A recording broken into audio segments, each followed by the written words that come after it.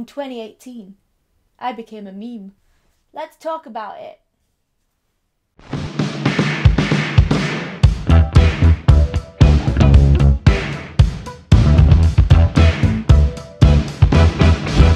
Hello, you. I hope you're good. I'm a real YouTuber now. I got merch. What's up, YouTube? Make sure that you smash that like button and that subscribe button and put the notification bell on and check out my merch.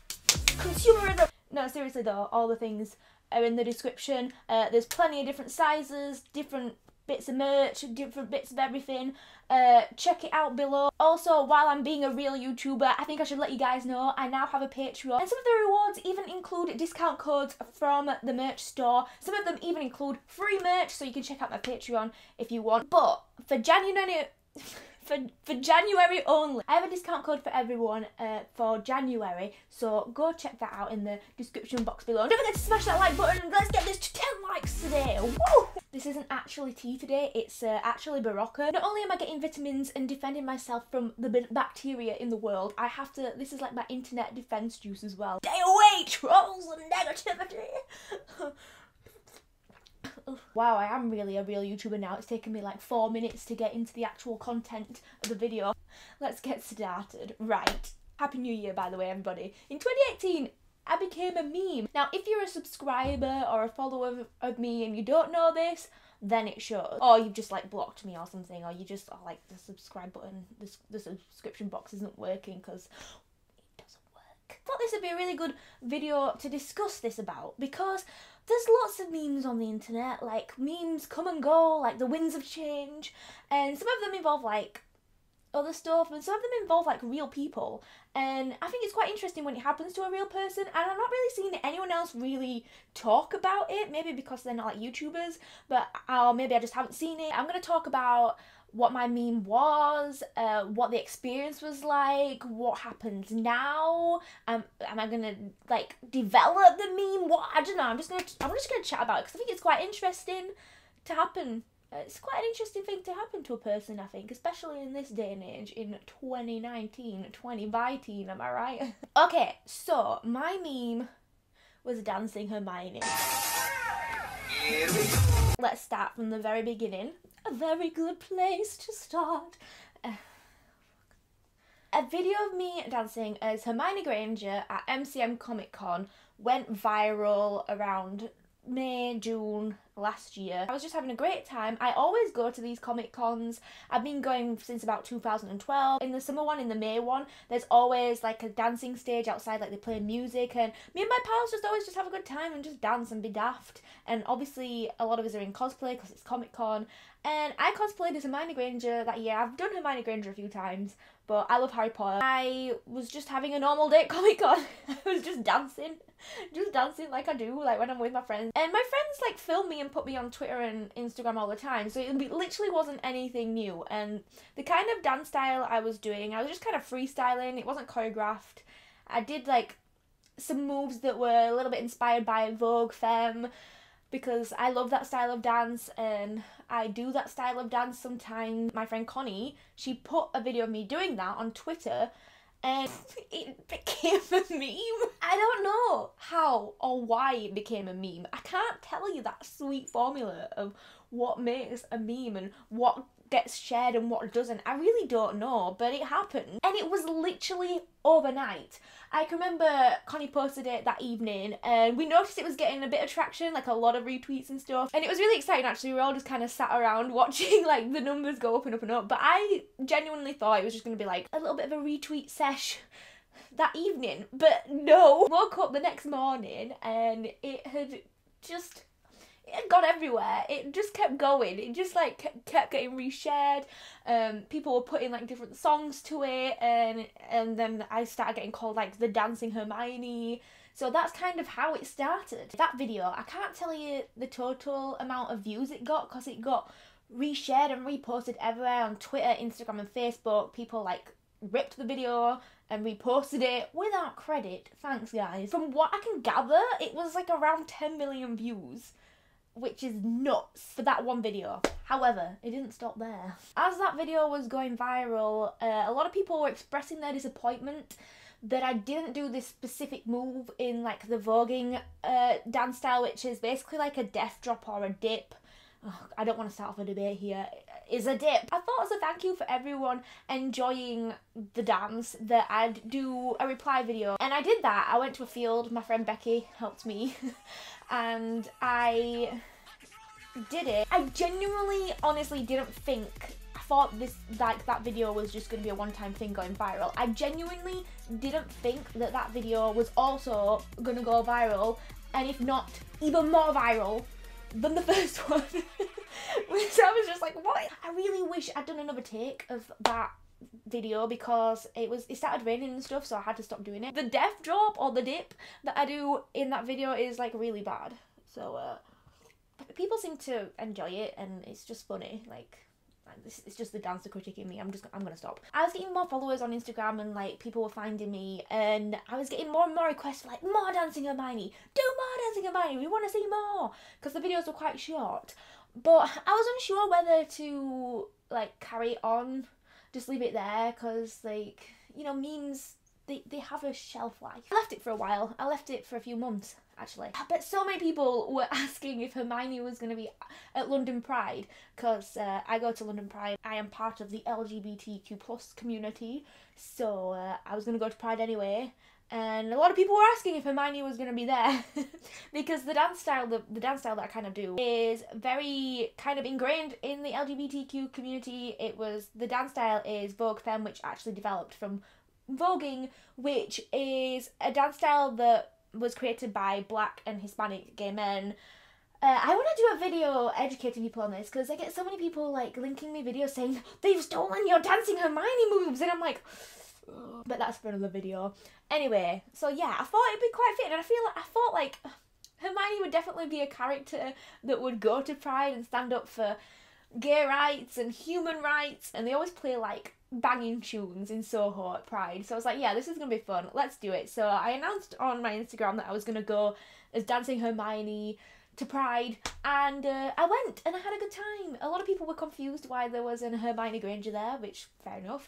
But there's like Dumbledores and stuff there. I get to Soho, and uh, there's there's a dance circle, and I just kind of join in. Little did I know that my friend Hannah was filming me and she posted it on on Twitter. And guess what? A viral superstar. This one was the most viral. I'm not sure. I, I, I wasn't really like counting numbers, but I feel like this one like gets shared around a lot. And when people approach me, they're like, "Oh, I love the Pride videos." I feel like this was the one that was was the one. RuPaul even tweeted it twice. The Hermione Granger Onker's child misnomer. She retweeted me. I'm just gonna. Oh. I was also shown on Jimmy Fallon. My video was shown to Daniel Radcliffe. It's called Hermione Dancing. I think this was at a Comic Con or something, but check this out. I think this is fun. I mean, that's, I mean, not bad. That is great. My mind actually went into orbit. That was cool. Uh, huge Harry Potter fan. I didn't get to go on Ellen, so maybe I guess I wasn't really a meme then.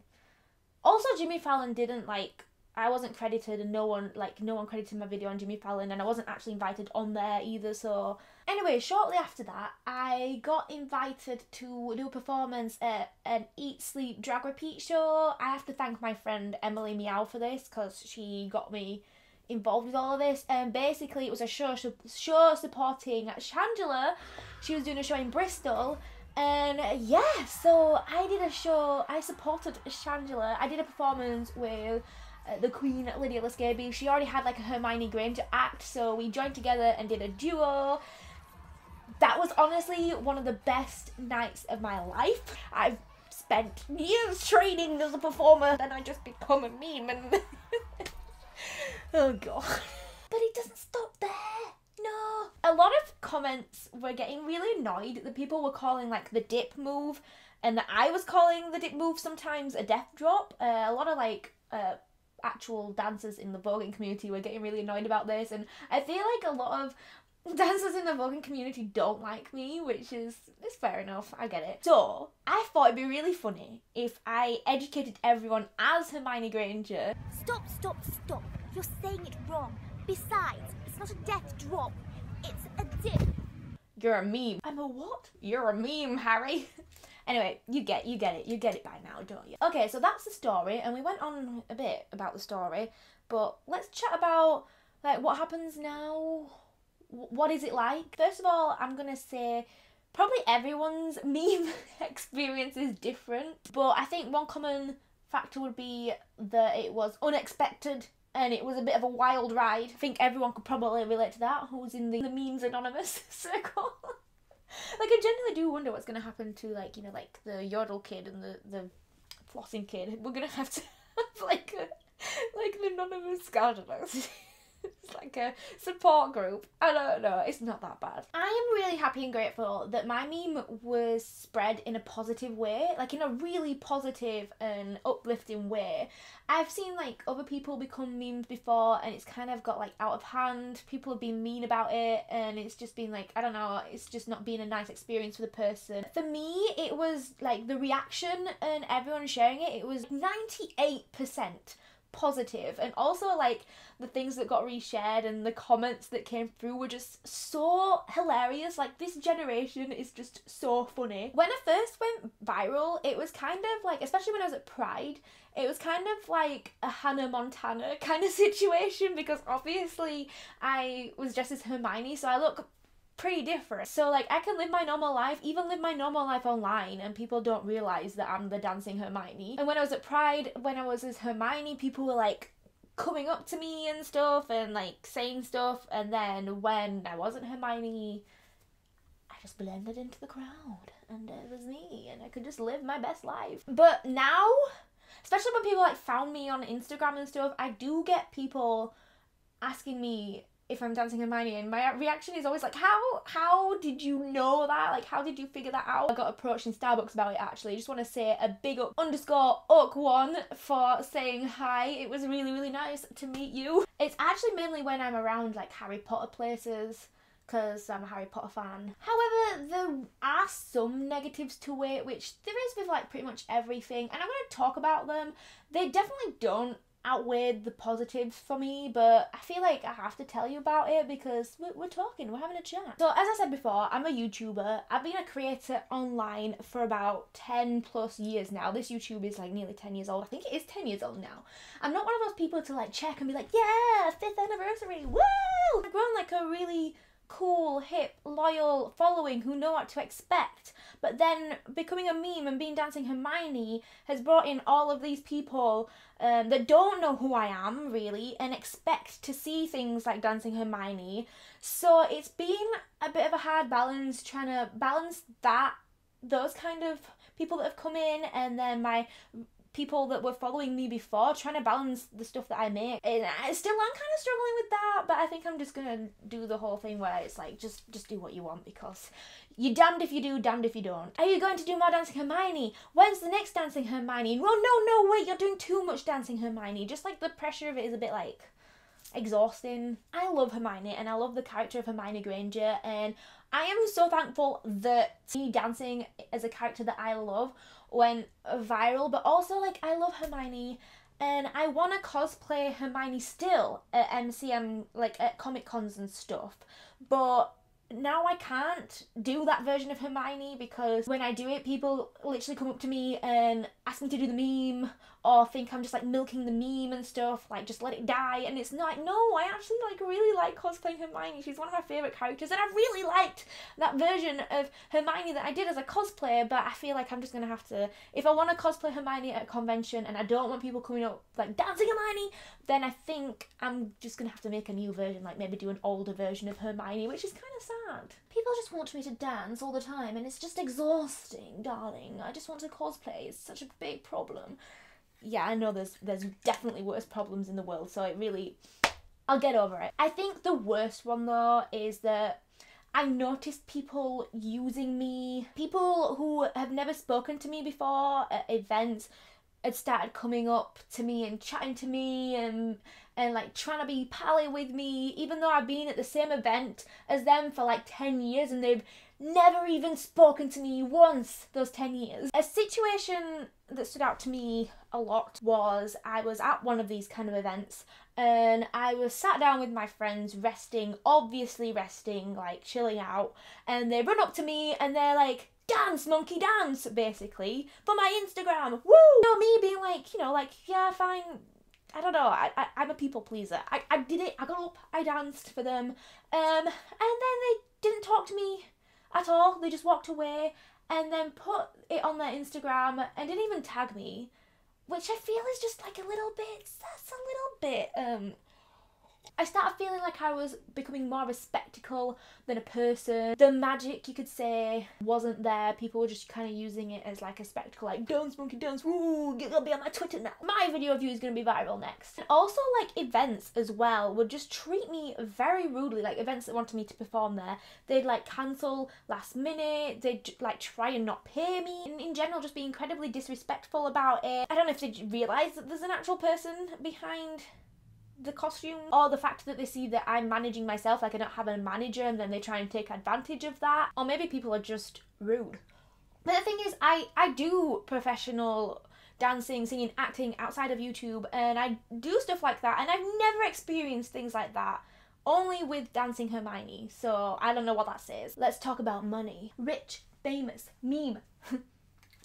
no, hardly made any. Views do not equal money. Next. You know what? That's actually all the bad things, bad things I can think about. What happens now? I don't know. And I don't really care. That was in 2018. and like I said, memes come and go. They like like the wave, like the gust of wind. If it blows up again, it blows up again. If it doesn't, it doesn't. I can't tell you how the internet is gonna work. And I think I'm just here for the ride. the thing about Dancing in Hermione is that original video, I was just being me just having a good time and I can't recreate that how I was then in every single video and I feel like it I don't want to force that so I don't I probably won't do any more dancing Hermione stuff on like as a content video. I don't know. I cuz I enjoy doing it. I enjoy dancing. I enjoy Hermione and I enjoy voguing. But I feel like the meme is dead that's not the reason why I would stop doing it. I think the reason why I would probably like calm it down a lot or only do it every now and again now, probably mainly just at like events, like performances, because it kind of fits really well. Like when there's Harry Potter themed nights and when there's like drag nights, it fits really well with that and it's a lot of fun. So I'd probably still do it for stuff like that. Like I really like don't want to get pigeonholed as that thing and just be be that thing, if you know what I mean, because I was a creator before this became a thing. And I want to be a creator after that. I want to move on and create other things. And if I get stuck in that 15 minutes of memeness, then I don't think that's really good. And I want to be me, not Hermione. I want to be like known for me and my face, not Hermione's. So that's why I'm going to stop it. Not really. I yeah, just just like time to move on a little bit, isn't it? Someone actually explained my channel as a creative mess the other day, and they're not wrong. But at the end of the day, it's what I enjoy doing most. I enjoy doing different things. I don't like to limit, limit myself, and I definitely won't with this meme. One thing I am super thankful for, though, is that the first original video blew up literally a day after I released the Indiegogo stuff for my short Harry Potter film that I'm making. That was like the stars aligned, like it just brought a bunch of Harry Potter fans who would be interested in this film to um, support that. So I'm super, super thankful for Dancing Hermione, especially for that. Um, I feel like there's some sort of weird stars aligned thing going on there, right there. I don't know. Woo! So I guess that's like something to expect in the immediate future, but I don't know how Dancing Hermione is going to affect me in the long run. Will it affect me at all? I don't know. Right now, it apart from like getting new followers, having a great time, it hasn't affected me that much. I think I look back in 2018 in a few years time and be like wow that's the thing that happened and look back on it fondly. But I, will have moved on. More things will have happened in my life and that'll just be a, a cool thing that happened. And although i do feel like i've unlocked some sort of internet achievement by becoming a meme now it's time for the next internet adventure. You know what? I just want to say a huge thank you to everyone who supported me online before dancing hermione and then new people that have come in afterwards and are still supporting me now, even though I'm not doing Dancing Hermione, that you've like stuck around and you're supporting me now. I really want to say a huge thank you to everyone because you're all awesome. You're also funny and kind and nice, and I couldn't have I couldn't have asked for better people to like support me online. You're also cool. So happy that you understand me and my craziness and my crazy variety of content as well. So thank you. I don't think Dancing Hermione is the defining moment of my life or career. It was just an awesome thing that happened and I'm super thankful for it. So yeah, thank you so so much. And I don't know what this video is, but thanks for watching and I'll see you in the next one. Bye.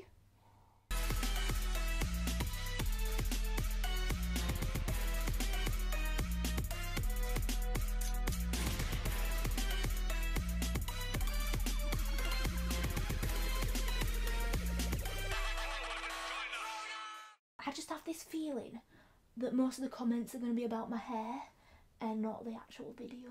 We shall see. Let's do a social experiment.